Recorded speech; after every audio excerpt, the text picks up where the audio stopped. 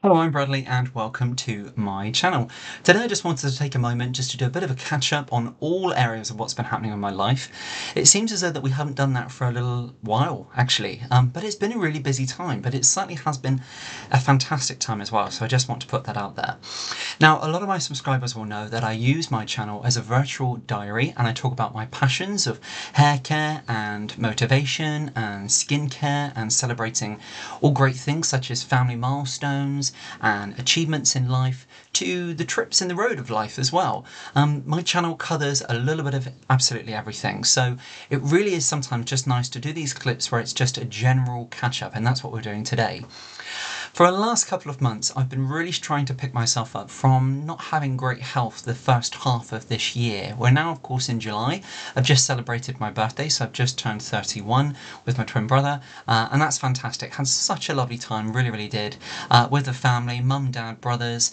Uh, niece, nephew, um, and my sister-in-law and my, two of my brothers with my mum went away and had a really lovely holiday as well. Just come back from Lanzarote, which was absolutely fantastic. Um, but you know what? It feels like it's just been go, go, go, go, go. And there has been times among all of that where I've been able to just relax and just enjoy to being at peace with the, the position I am in at life at the moment, which of course is between a really busy job, picking myself up from uh, some health problems, and then just making sure that's the one thing I've learned from all of this, what's happened the first half of this year, is really that just trying to concentrate on not worrying so much, not stressing so much, and enjoying the right now. So being at peace with time and at right now enjoying whatever I'm doing. Um, so I've really been trying to concentrate on that, but it's been a really sort of hectic time. And as I say, we haven't done this for a little while, just took a moment of composure and uh, just chatting about what's happened. So this is what today is going to be all about, a bit of a catch up with all of my subscribers. So first of all, I just want to put that out there that I have got so many comments and it's getting harder and harder to keep on top of all of my comments, but I absolutely will never not reply. So whether it's a couple of weeks before I get back to you, I've got such a backlog at the moment, but that is because work has been incredibly busy. I'm also throwing myself back into my studying.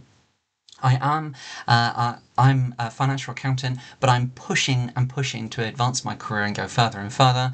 Unfortunately, I can't tell you about the job I do, um, just because of the nature of what it is, um, but it is something of which I enjoy, and it does stretch me, let's put it that way. So I'm always trying to enhance my professional development, um, and uh, whether that be different courses, whether that be qualifications, and just striving for, uh, not, I don't want to it's it's not a point of kind of getting to a certain position for a certain salary or anything like that, but it, it's a hard field. So it's me just trying to stay at the top of my game. It's not going to be something which I'm going to be studying exam, exam, exam all the time. I'm trying to get myself to a certain level, and once I get to that level, then it's really important for me, I feel, to then start enjoying it, because of course. I do truly believe that life is a journey and it's great to get to that final destination, but it's so, so important to enjoy that journey along the way as well. So for me, I'm about, I would say, a year, maybe six months to a year away from where I want to be ultimately at that sort of level, let's say on a CV position uh, sort of tag. Um, as a job title. I'm about six months to a year away from just, I want to get my, my study, my uh, qualifications up to a certain point so I can have wholehearted confidence on calling myself uh, the title of what I want to be at. So that financial accountant, I want to just, but I'm there, but I just want to bolster it a little bit more. So I've been doing some research and trying to throw myself into studying at the moment with that as well. So I've been doing all sorts of different uh, small courses and qualifications and things to bolster that. So that's been really, really busy. It's something I enjoy.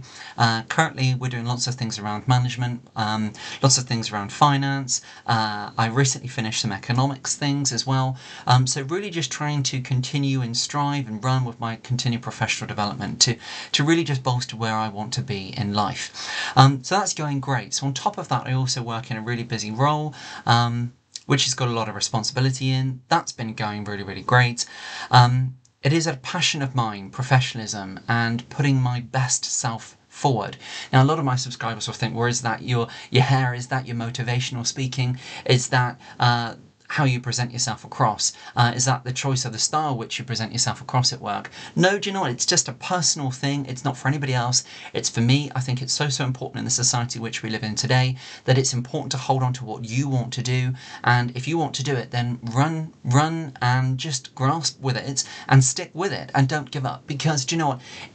Society, I feel nowadays, so, so, um, sort of casually pushes people into corners that you must do this, you must do that by a certain age. But ultimately, I do truly believe as long as you continue on that path of what you want to achieve at whatever, any age, whatever circumstance, just keep going because the reward is absolutely incredible. And nine times out of ten, the journey is by far more valuable and exciting than that end position. So that's been really, really going out there uh, hugely um, for me. So it's it's been a really really busy time with that. Uh, so on the back of that as well, I've been really trying to concentrate on de-stressing. A lot of my health problems, yes, there's some physical ailments with me in the middle here, and then as we've talked about a couple of times on my channel, that kind of vice effect in life uh, with stress and worry and anguish kind of pushing and almost suffocating uh, me with with whatever actually physically has been going on. Um, a lot of my subscribers will know I've been having some problems and I've been under a neurologist uh, uh, with some sort of seizure or fainting, collapsing sort of episodes. I've had quite a lot of that the first half of this year.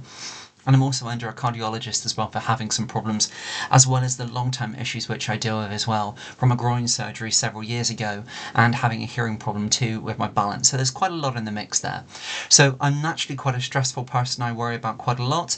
Um, so that's been sort of really exacerbating uh, what's been going on as well. So I've really been trying to kind of tone down worrying, stressing so much, and just really trying to be at peace in the moment and where I am in life, and just enjoying everything I can. So I've really been trying to sort of help myself out with sort of therapy books uh, in terms of cognitive behavioral therapy, and really just trying to change rather than having such an obsessive mind frame, um, but really trying to kind of silence those thoughts, those obsessions, and that element of OCD which we can all suffer from, particularly in times when you're trying to strive to achieve something and you've got lots of sort of impacting factors in the background. So that's what I've been really trying to uh, sort of achieve on and uh, and sort of work out as well. So moving forward from that, then throwing in the mix, of course, I celebrated my birthday, so I turned 31. That was absolutely incredible. Um, and you know, I had a really, really amazing day, and it was just, it was really, really lovely. It really was. And um, I live in the family home, so straight off from the morning with mum and dad, it was lovely, and my twin brother was here in the morning as well, and um, because he's got his fiancée and his little girl too, um, so I had lovely gifts from everybody. I seen everybody, not necessarily on the day, but close proximity to it, because um, we had a wonderful holiday. I, uh, uh, have been to Lanzarote recently, so that was great with my sister-in-law, my two brothers. Um, unfortunately, my twin brother and my niece and his fiance didn't go, um, which would have made it absolutely perfect. But who did go, we had an amazing time. So that was my niece and nephew, brothers, sister-in-law and mum. So that was really, really great. Um, my dad, of course, stayed at home, uh, was doing things with the house, lots of kind of renovations and things. So that was really, really great as well. Um, so it's been a really busy time. So I had a fantastic birthday, blessed with lots of uh, wonderful family, lots of really great, uh, wonderful, wonderful gifts. Was absolutely spoilt. Went out, had a really lovely meal, um, and just some wonderful memories, and just yeah, some really cherished times. So that was really, really great. Then on the back of that as well, my brother and sister-in-law, they celebrated their wedding anniversary. That's literally the day after. And then the day before is my niece's birthday. Um, so huge busy time, of course, very expensive time. Then a couple of days after, no, it wasn't, sorry, the day after my, my brother's wedding anniversary, we went uh, on holiday to Lanzarote. The weather was incredible. We'd done some wonderful things. But of course, it was the first time with me being away with having uh, the problems which I've been dealing with. I'd never actually been on holiday uh, with the problems I've been having in the, in the, first half of this year. So, for example, yes, from groin surgeries and one thing or another, I've been on holidays uh, with those problems and the bladder problems because unfortunately I have a lot of bathroom issues from having had the surgeries which I've had where things went wrong, unfortunately. Um, but this was the first one where, because I uh, unfortunately keep having episodes where it comes over my chest and it feels as though my heart's absolutely pounding, and I get quite lightheaded, and sometimes I've kind of flaked out with that. Um, so it was it, there was an element of anxiety for me uh, with doing this holiday, but it was something which I really wanted to do because um, I do work from home to try and manage and keep uh, sort of from work's perspective, safeguarding with the things which have been going on. Um, but I've been really trying to take ownership of what's been happening to me and really just trying to. Uh, take ownership of the fact that actually I have a life um, and I have to have that healthy balance. So I still have to go on and do things, explore things, and have that adventure in my life as well. Um, and you know what I do? One of my favourite things is getting out, going out for meals. Uh, love going to the cinema. Love being out with my uh, brothers. Um, and you know what? I have a really busy life, even though predominantly my job is working from home. But it's constant. There's always lots going on. My channel is very, very busy. I have a lot of studying in finance accountancy and all of those kind of uh, sort of areas as well with different things in relation to that. So I'm busy. I keep myself busy and it never stops me in my life, whatever I'm dealing with. And it certainly will never ever define me at all.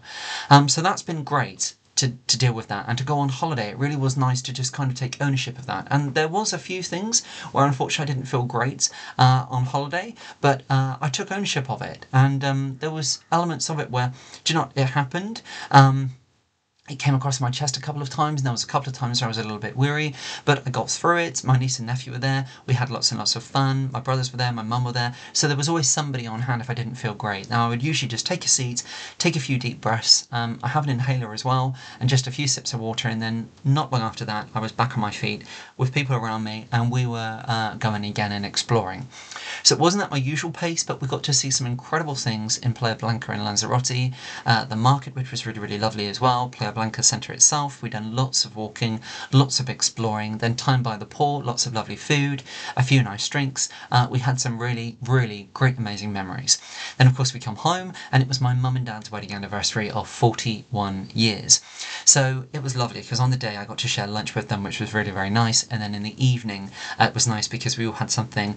Uh, a lovely meal together as well, and toasted with a glass of champagne too with mum and dad um, in the lounge, talking, putting the world to rights. It really, really was lovely, uh, and um, I think it was 50 roses my dad actually gifted my mum this year, and uh, they had some lovely cards as well and things. And then the following day, we done a little bit more of the same again, um, which was very, very nice indeed. It really, really was. So, as you can see, it's been a busy time. There's been lots and lots going on.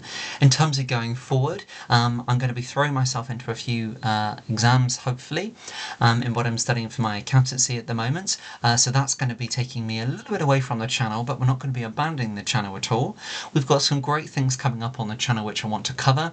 So one of the ranges which I've been using is uh, we're going to be talking about hair and we're going to be talking about skincare as well, as well as motivation as well, and finding your confidence and just putting the best you out there. And what I do when I have those days when you can't necessarily find that strength, but you smile, you keep going, and the things which I do to really put myself out there. And then in the end, you're gliding through all those fears, those emotions, worries, stresses, whatever you want to call it, and you are just shining and you're rising and you're just taking on the battle of this life and you're just you're getting there. You're you're you're doing okay. So my friend you're going to be all right if you're going through those problems.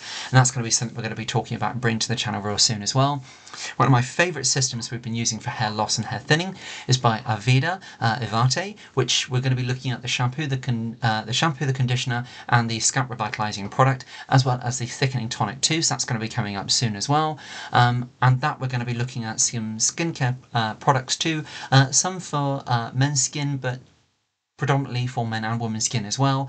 Um, why you may think, because that is a passion of mine, because if your skin looks good, if it feels good, if your hair looks good, if you feel good, then you have got the most confident you, and you can walk into any situation feeling the most confident, best version of yourself. So nine times out of ten, you're going to come out flying, you're going to come out on top because you feel great. And at the end of the day, you're not doing it for anybody else, my friend, or and you shouldn't be doing it for anybody else. You should be doing it for you because ultimately there is only one of you in this world, and just simply simply for that fact, on that very first starting note, you're amazing. Anything else is a bonus on top.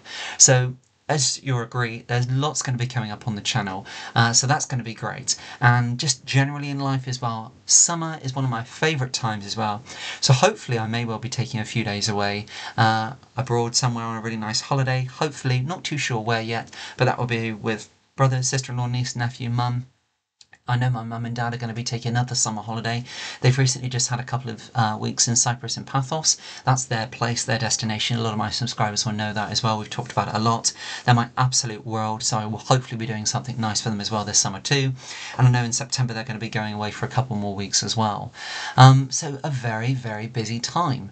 And do you know, whenever we, we talk about these things in family, my nan is always with me. It's real hard, and uh, a lot of my subscribers will know that back in May of 2021 I lost my dear Nan, but she is always with me and I talk about her a lot. And I've throughout all of what we've talked about, I've had moments where I've felt down and heartbroken. Yeah, I've had a few tears when I've been on my own, I really have.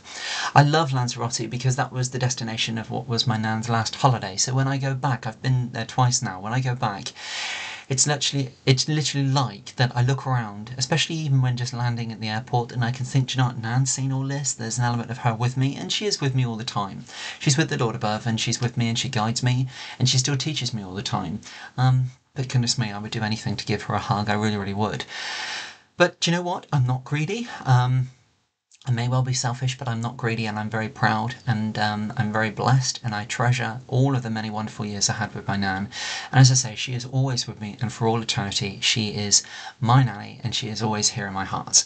Um, but lots to come on the channel, lots going on. I know a lot of my subscribers will have a very busy summer ahead. Look at my hair, do you know what? The one thing, the one product I've used this morning, it's gone sort of, it's almost like growing in sort of thickness. I think this was a, um, Funny enough, it's a product which actually uh, I used to use when I used to look after my uh, dear Nan. Um, and my, my nanny had Alzheimer's disease, um, and my mum and me very often would look after her, and we'd see her all the time. Every week we'd see her, and um, there there wasn't anything. Uh, pretty much, my mum my mum didn't uh, do. She always, we always used to try to uh, keep Nan as Nan always was. And you know, my nan literally held two fingers up to her illness, she really, really did. And an incredibly glamorous lady right to the end. And unfortunately, I lost my nan in a very, very horrific way. Um, but keeping this positive, because Nan always did, and she always kept going no matter what. Um, and she really fought it to the to the end. She really, really did. And um, this particular shampoo conditioner, uh, when I used to wash my nan's hair my mum, my mum used to colour it, and I used to help style it with my nan as well, as I've got a passion for hair. And um, Nan was always so glamorous and so just stunningly beautiful. And actually, funny enough, um, the shampoo conditioner was the Pantene. I can't. It was it was a Pantene small bottle. It's in my family bathroom. I haven't actually got it to show on the channel, but um, we'll review it. Do you know what? We'll review it shortly uh, on the channel soon because it is really really great at making volume. And as you can see, it seems to grow in shape.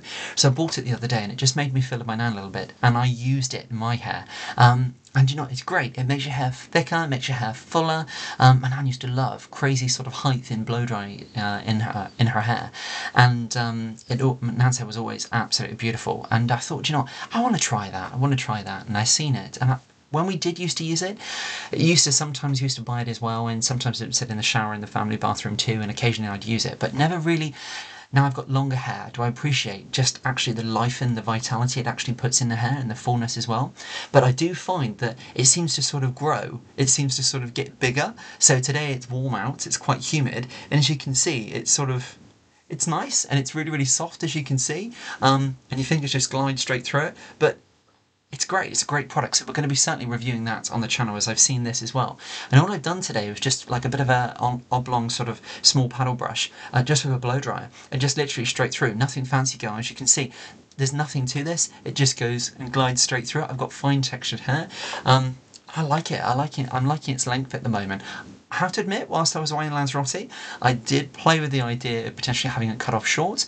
Um, not short, we may be doing that this, this summer, or shorter, or a bit of a different style. Not 100% sure at the moment, but I'm sure you agree. Lots to come. Um, so yeah, just really, really great. So on that note, I hope you've enjoyed this clip, this bit of a catch up. I really certainly have. And to all of my subscribers, thank you very much. And to the backlog of comments at the moment, I will get there. Please, please bear with me. I always love to just sit down and just acknowledge everything because I always feel if somebody has taken up their time and they have blessed me with leaving a comment on my channel, who I never actually thought that I'd even get 50 subscribers, and we're over 2,000, nearly 2,100 now, um, which is fantastic, and thank you from the bottom of my heart for that. But I really do like to, and I get a lot of comments now, um, so I love to just sit there and just wholeheartedly just reply back to every single comment which I get. And it is a lot of comments, it takes a lot of time, but it's a really amazing, lovely issue to have. Um, and I'm very, very blessed, so thank you very much for that. So on that note, I hope you've enjoyed this clip. I really do. Uh, thank you very much for being here, and until next time, God bless, take great care, and I will look forward to seeing you then. Bye for now.